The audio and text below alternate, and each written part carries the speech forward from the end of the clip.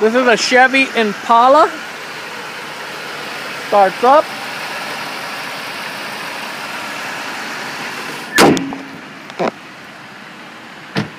This was used as a police car.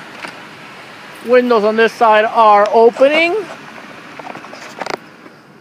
AC is working.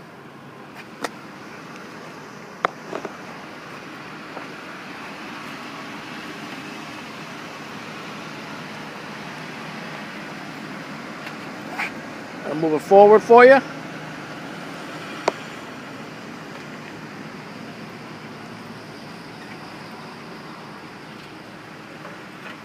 Windows on this side are also working. You see the only light on is the seatbelt light.